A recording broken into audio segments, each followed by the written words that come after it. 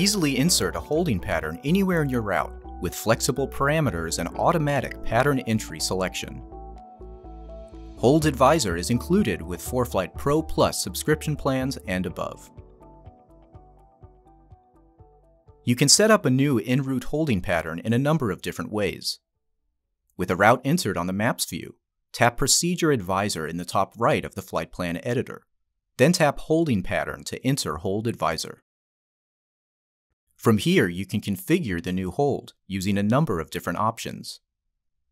The selected fix for the hold defaults to the final waypoint in your route before your destination airport.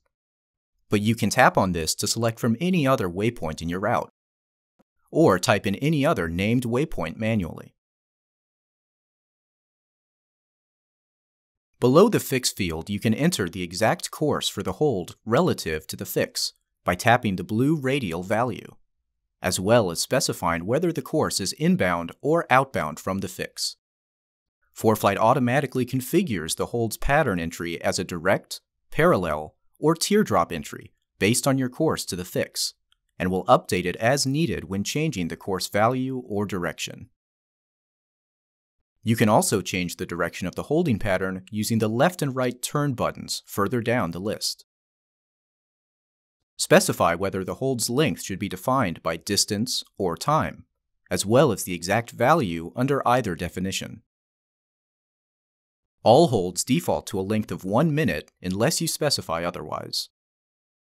The optional fields at the bottom of the list allow you to specify an altitude, speed, and expect further clearance in Zulu time. ForeFlight uses whatever speed value you enter here to define the hold size if it's based on time, overriding the default speed. Tap Add to Route after setting up the hold to insert the pattern into your route. Holds appear as gray bubbles in the route editor, with details for the fix, radial, and any custom altitude, speed, or EFC. Tap this bubble to edit the hold using the same menu as when you set it up. And tap the Expand button to break the hold into its component waypoints.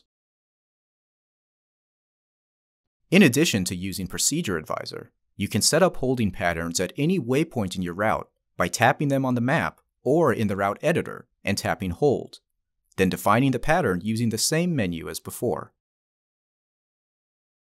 You can also set up a hold at any waypoint outside your route, and ForeFlight will automatically add it and the hold just before the final leg of your route. Tap any waypoint associated with a hold to edit the pattern directly.